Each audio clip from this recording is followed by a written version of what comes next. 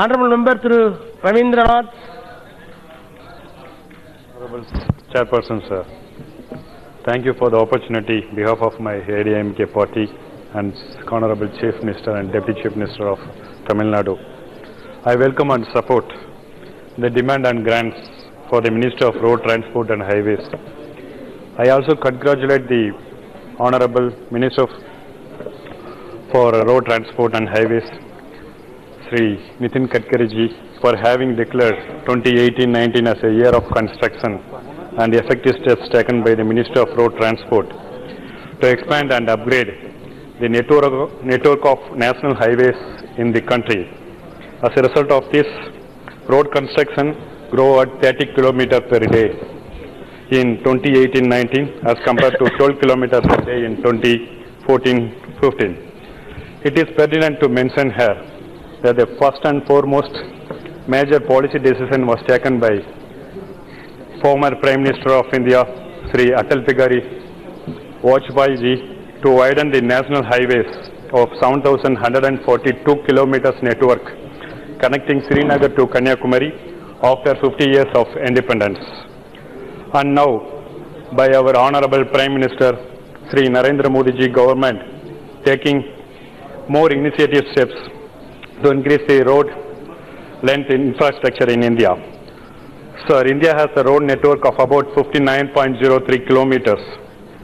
If we see the last five years, we can understand that the government has made huge investment in the road sector with a total investment increasing more than three times from 51,914 crores in 2014-15 to 1,58,839 crore in 2018-19. I assure you, sir, our Tamil Nadu government will certainly support to NHAI towards overcome the hurdles while, implementation of these projects.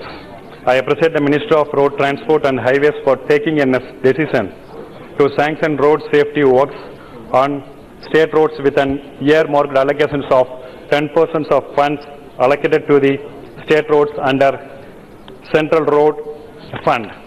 Our Tamil Nadu government already sent a proposal to this ministry to lay 586.70 kilometer of road and bridges during 2019-20 with an estimated cost of 3,500 crores requesting nodal approval from the central government duly declaring the following state highways as national highways.